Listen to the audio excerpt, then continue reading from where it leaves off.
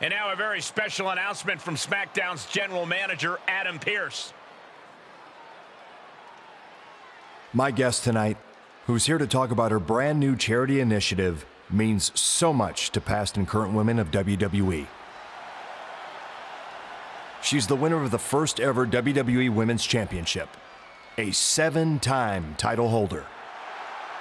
Someone who made an undeniable mark on everyone she encountered during her time at WWE, myself certainly included.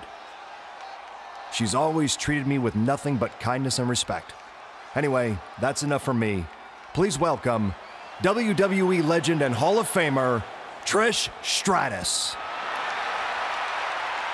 Trish Stratus is an icon in WWE. Trish is truly a trailblazer. So many of today's female superstars credit Trish for inspiring them to compete in WWE. Now she's inspiring everyone to give back through her charitable cause, which I'm sure we'll learn more about in just a few moments. What the hell? You've gotta be kidding me. Trish Stratus was just blindsided. Do something, Adam. Come on. Leave her alone. That's it. Leave her alone. King Corbin takes out Adam Pearce. What is happening? End of days on our GM. Was this some kind of coordinated effort between these two?